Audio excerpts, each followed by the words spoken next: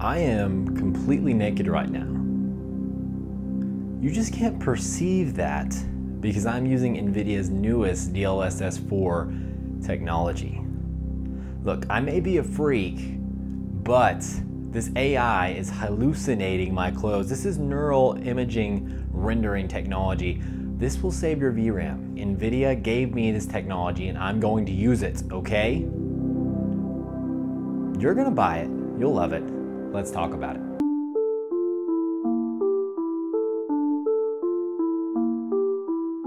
There are some leaks coming out about DLSS 4 and guys, I wasn't gonna cover this, but I thought, kind of thought about it and I'm like, wow, this is actually kind of really interesting topic because after seeing the cards NVIDIA is coming out with, you know, the 5080 all the way down, how VRAM limited we're being, we're living like the 40, the 5090 is giving us everything we've ever wanted with VRAM and memory bandwidth, and that is just going to be out of reach of 99% of gamers or even more you know, it made me start to think, wow, they're really gonna have to lean into DLSS 4 to make this generation a worthy upgrade.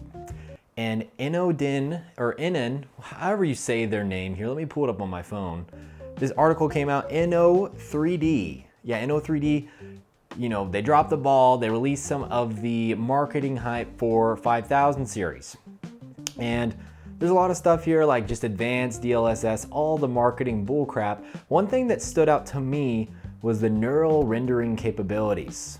They don't give us a lot of detail on what that could be. Also generative AI kind of uh, jumped out at me, but they don't give us a lot of details on what those two things may mean. But I kind of got some an inkling and I actually had a dream. I think it was a dream or maybe it was kind of something I saw on X and I had forgotten about it. I was tired. But I had this dream that and I saw this somewhere else that Nvidia will be doing this is VRAM suppression. But I had this dream, guys, that there was eight gigabytes graphics cards. Like I saw, I remember seeing like a chart like on Hardware Unboxed was doing something with 5000 series. And I know this is weird that I dreamed this, but it's whatever. Hardware Unboxed came out with this benchmark for 5000 series and the 5060 with 8 gigs of VRAM was only using like literally like 500 megabytes of VRAM while whatever other graphics card like the 4060 and other 8 gigabyte graphics cards were maxing out their VRAM at like 7 to 8 gigabytes. So I had this dream that DLSS 4 was so potent that it was just suppressing VRAM like crazy to where the 8 gigabyte VRAM buffer didn't even matter. And I know that's crazy. It's not, it's not gonna be anything like that where you just get like 10 times more VRAM with, you know, texture suppression and all that. But it made me start to think, NVIDIA is really going to be pulling some crazy stuff with DLSS 4. Who knows if any other generation is gonna get this. They might just give 5000 series DLSS 4.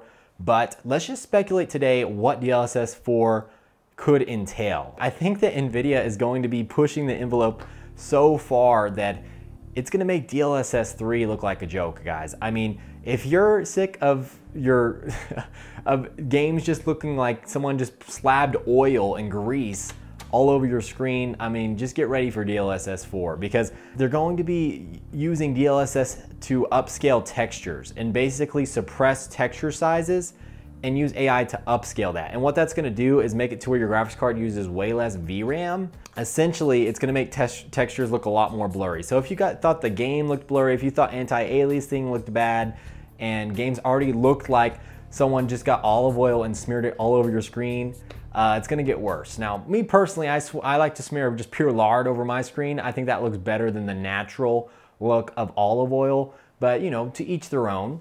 DLSS 3, I mean, we're interpolating frames, right? They're just fake frames, it's made up. Um, right now, we can, one in every eight pixels is actually rendered by your GPU, guys. With DLSS 4, it might be like one in 16 pixels. Or, you know, it might be something totally different. Started to play some old games. Like some of these games from 10 years ago look great and they, they could run on a potato at hundreds of FPS. It's weird. And now we're getting these games that bring a 4090 to their knees and they look blurry, they're pixelated. Like guys, it's so weird.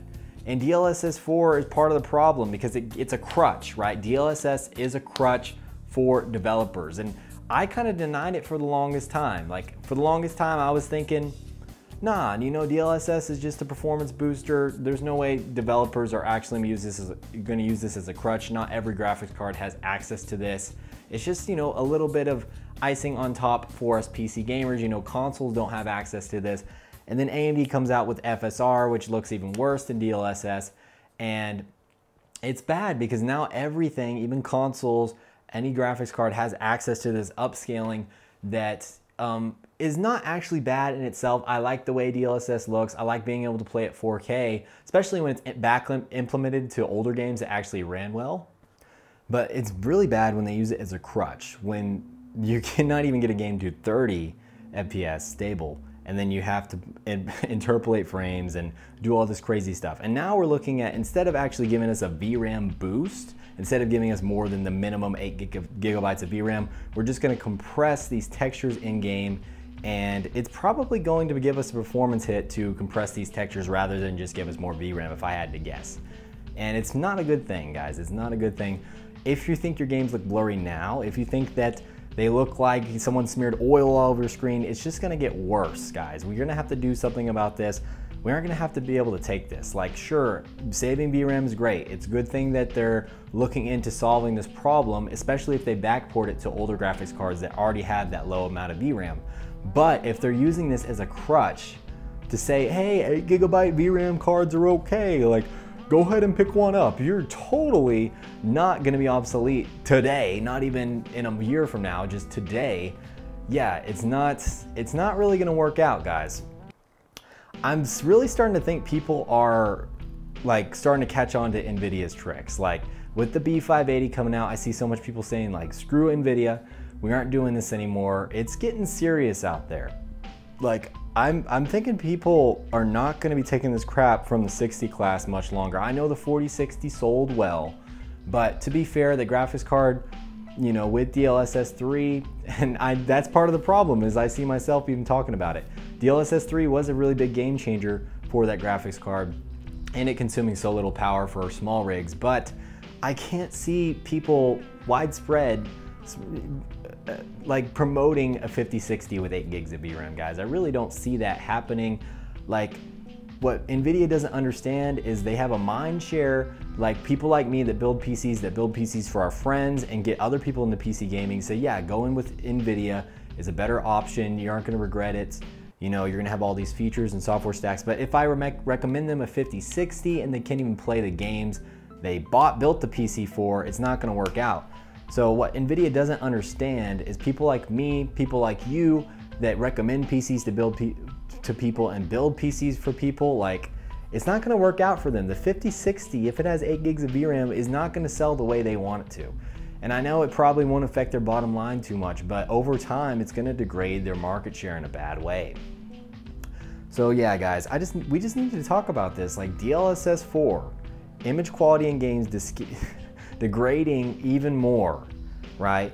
Like AI hallucination. And you know, part of game optimization is to um, not computate things that you won't notice, right? And that's the whole idea behind AI upscaling. Is it so good that it's equal to native in many cases, so why not use it? Because it renders faster. It gives you more performance with minimal or no visual quality loss. And that is what optimization is all about, guys. But we're getting to the state where DLSS and these upscaling technologies and everything to do with Unreal Engine 5 that was supposed to be great for our performance and supposed to be great for our visuals is everything but that. And it's just the opposite, guys. It's degrading visuals, it's degrading the performance, and really it's just making it to where you have to upgrade your GPU every generation for games that look worse. Like really, these games are not getting any better. There's a few games out there that look really great, like Black Myth Wukong, but some of these games, like the art style is not there,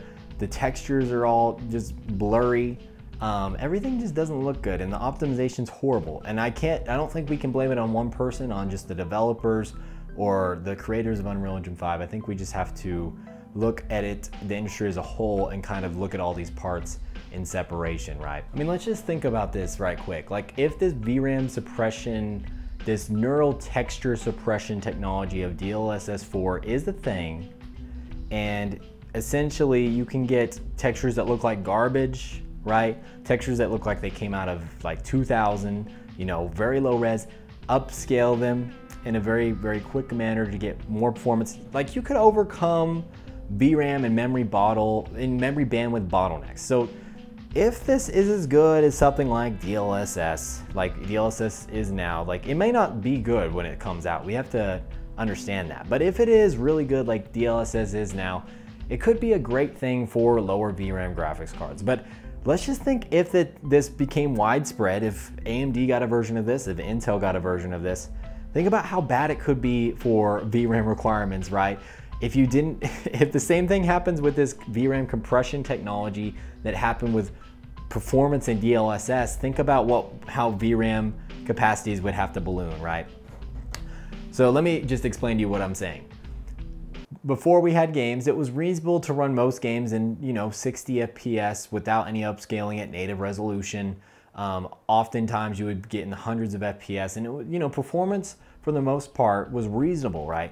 Now games are coming out, even on a $2,000 graphics card, you may not be getting 60 FPS with upscaling, you know, and some sometimes even at 1080p if you're using path tracing and all that. And essentially developers are using upscaling as a crutch because in the minimum requirements for games, even at 1080p, you have to use upscaling and frame generation now, right? Which a few years ago, we didn't even have this technology and we were making by, and the visuals were not that much different, guys. So essentially what I'm saying is, if this VRAM suppression technology, this neural texture, whatever, AI garbage comes out, and it's really good to start out with, like DLSS became during DLSS 2. We enjoyed DLSS 2 in games that actually ran well in the beginning, and it was great because we got this huge performance boost. Well, as we saw with DLSS and games, quality started degrading, optimization started degrading. If the same thing happened with this VRAM uh, compression technology, just think about how VRAM requirements would balloon, right? Like if an 8 gigabyte graphics card can get 50% more efficiency and become like a 12 gigabyte graphics card, well then devs are just going to use more VRAM and optimize even less, right? So essentially, without this technology, 12 gigabyte graphics cards would be like 8 gigabyte graphics cards, you know, 16 like 12 and 24 like 16 almost. Like just think of it in that way. So that's what I'm kind of scared of. Like almost I want NVIDIA to stop coming out with this DLSS, DLSS technology because it's just working in such a universal manner that it makes game developers lazy. And almost I'm starting to think that NVIDIA is paying these game devs to just use DLSS instead of optimize. Like I'm starting to get to that point where like someone under the table is giving people money so we have to upgrade every generation, guys. Honestly, I think if it's a success, we're all in trouble because game devs are just gonna use this more and more to degrade our image quality, degrade our performance, and ultimately require us to upgrade to play their newest games. But guys, let's just talk about it. Like these newer games aren't worth the upgrade. There's a couple of them that are really fun, but for the most part, money, many of these games aren't worth the upgrade unless you're making money off, um, you know, live streaming these games or you're really just a fanatic about these franchises. It doesn't make sense. Me personally, I'm gonna be sticking to more older games. I got into Dishonored um, like a month or two ago. I passed that and I loved it. I played it for a second time. And then also, I'm getting into Dishonored 2. I played Prey this year, all Arkane Austin games. Really, those are some really good games if you like single player stuff. Um, you know, I play Halo Infinite a lot and Dragon Ball Sparking Zero. So those are the kind of games I'm playing right now. So, you know, Dragon Ball Sparking Zero is Unreal Engine 5, but it's super easy to run. I have a 4080, so I'm gonna be sticking to, you know, a couple modern games that I like, but mostly going back and playing these old gems that I just love. Neural, neural imaging, neural texture processing, and AI upscaling. It sounds like really cool. The techie inside me is excited about that technology. It, it, I'm excited to see, you know, oh, a 4060, 8 gigabytes of VRAM, maybe it can be equal to 10 or like 12 with this suppression technology. That's kind of cool, but I know developers and I know somewhere around along the stack, somebody's gonna mess it up for us, right? If DLSS 4, you know, uses this technology and it's horrible and no one uses it, then it's not gonna really change the game very much, right? And if this is a thing and it's if it's really good, um, Intel and AMD I think are gonna have a really hard time catching up with NVIDIA And it's gonna make it tough, right? So if they come out with a technology for the 5060 that equates it eight gigabytes of VRAM to having more like 10 or 12, um, that'd be kind of crazy for like the B580 and whatever AMD comes out with. Hopefully it has 12 gigs of VRAM because essentially they would be, it would cost them much less to manufacture their product, but their product would perform better.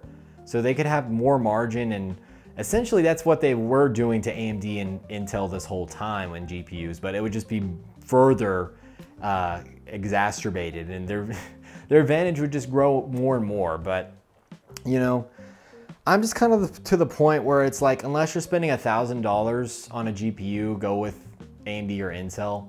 Like, I, I don't like recommending Radeon cards because I feel like their features are just not there. I think FSR is just so much worse um, in all aspects compared to DLSS and XeSS. And you know, them not actually having great media encoders and upscaling. It's not the best, but at this point, like you can get the VRAM and the memory bandwidth. It may hold you for a little bit of time.